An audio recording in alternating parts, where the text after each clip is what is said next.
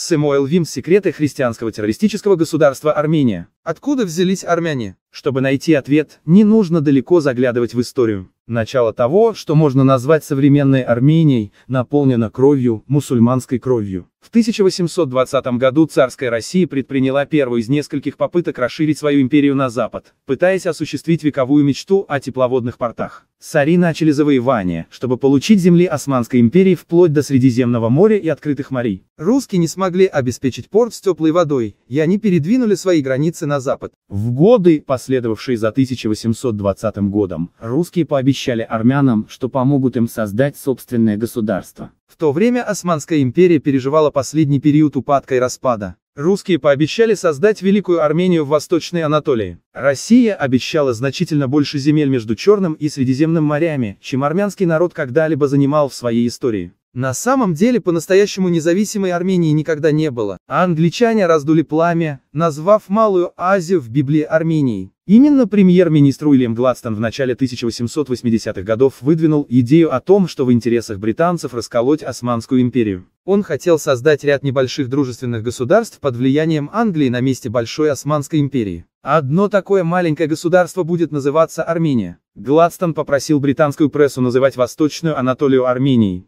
В 1877 и 1878 годах была еще одна война между Османской империей и Россией. Когда война подходила к концу, христианский армянский патриарх Стамбула Нерсес Варджибедян обратился к русскому царю с просьбой сохранить за собой земли, занятые его войсками в Восточной Анатолии. Когда война закончилась, патриарх попросил великого князя Николая присоединить к России всю Восточную Анатолию и помочь в создании автономного армянского государства, очень похожего на то, что создавалось для Болгарии. Конечно, этого не произошло, поскольку это не отвечало интересам русских. Британцы опасались такого влияния России на армян. Они пришли к выводу, что Россия будет большей угрозой, чем османы. Они поняли, что Великая Армения, в которой доминирует Россия, откроет Персидский залив и Индийский океан, где британские владения в Индии могут оказаться под угрозой. Великая Армения возникла не так, как хотели армяне. Однако армянские офицеры в российской армии продолжали работать, чтобы вызвать недовольство османских армян, предлагая им работать самостоятельно, чтобы обеспечить такую же независимость, какую добились христиане на Балканах.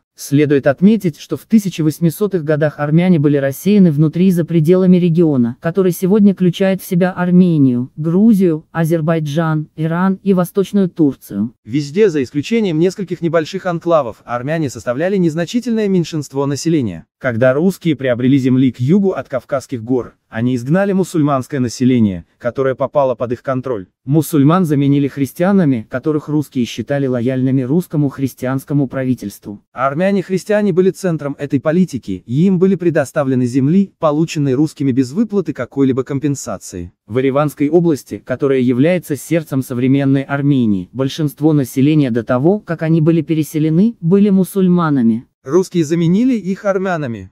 Так Армения приобрела то, что она сегодня называет своей исторической родиной, непрямыми потомками библейского Ноя, как утверждают многие армяне, а русскими между 1827 и 1878 годами. Во время насильственного выселения мусульман России нередко умирало до одной трети мусульман, которых заставили покинуть свою собственность. Русские насильственно выселили около 1,3 миллиона мусульман в период с 1827 по 1878 год. Россия начала войны с османами в 1828, 1854 и 1877 годах. Каждый раз русские наступали, а затем были вынуждены отступить. Когда русские отступали, армяне, опасаясь возмездия мусульман за насилие, которое они причинили не христианам, бежали вместе с русскими. В 1890-х годах в Восточной Анатолии вспыхнули армянские восстания. В результате было убито много мусульман и христиан. То же самое повторилось во время русской революции 1905 года в Азербайджане. Гражданская война между христианами и мусульманами снова вспыхнула, когда началась Первая мировая война. Армянские революционеры, многие из которых прошли обучение в России, пытались захватить крупные османские города в Восточной Анатолии. Им удалось захватить безоружный город Ван и удерживать его до прихода русских. А армяне убили всех, кроме нескольких мирных мусульман в городе и близлежащих селах. Такие убийства с обеих сторон продолжались до 1920 года, через два года после официального окончания войны. Многие турки-мусульмане османы и армяне-христиане умерли от голода и болезней. В учебниках нет исторических упоминаний об этой колоссальной мусульманской потере. Эти учебники рассказывают истории о массовых убийствах мусульманами армян-христиан, болгар-христиан и греков-христиан. Но в западных учебниках нет письменных отчетов о мусульманских потерях и массовых убийствах